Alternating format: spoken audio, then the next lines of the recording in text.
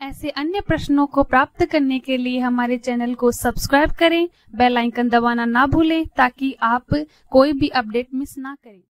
आज का अगला प्रश्न है, अकबर ने दीन इलाही किस वर्ष में प्रारंभ किया?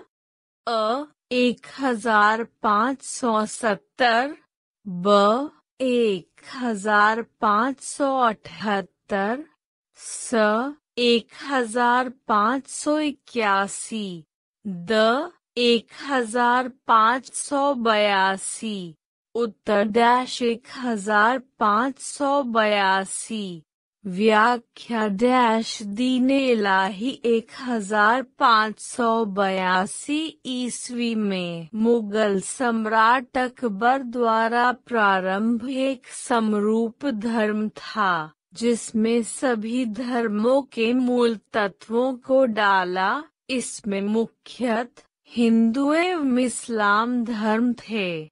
कहा जाता है कि अकबर के अलावा केवल राजा बीरबल ही मृत्यु तक इसके अनुयायी थे। अकबर के पश्चात केवल ग्यारह लोगों ने ये धर्म को अपनाया। इसमें से एक बीरबल भी थे। दीन इलाही ने नैतिकता, पवित्रता और दया पर ज़ोर दिया।